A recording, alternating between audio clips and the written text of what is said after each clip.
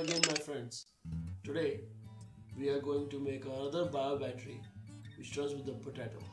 For this experiment we need 3 potatoes, total 3 number of zinc uh, copper strip, 3 number of zinc strip. Two connections I've already made copper zinc connecting wire, zinc copper connecting wire, one speaker a LED light and a digital watch. This is a phase 3 for the bio batteries. Now we'll start the experiment. First we'll do the experiment with the uh, sound chip. Insert the copper strip in one potato, zinc strip in second, this copper strip in second this zinc strip in third.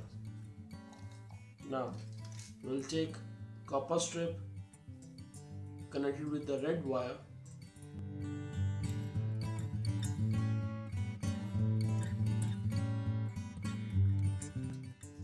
and zinc strip with the black.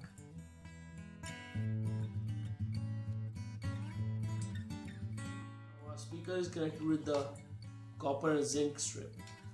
Now this copper strip will go in third potato and this zinc strip will go in first potato. Now you can listen the music. So this is the normal experiment what what we what everybody do. So uh, I have tried a different thing. I'm going to take it another on another level I'll take out the zinc or the copper strip of the speaker, separate it from the wire of a speaker and connect the LED and digital watch together to get the power.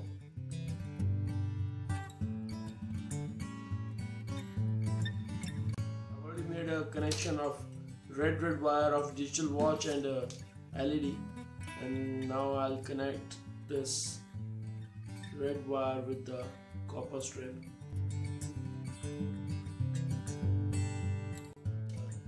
This black with the zinc. Copper will go in the third potato. The zinc strip will go in the first potato. Now you can see our watch as well as LED light.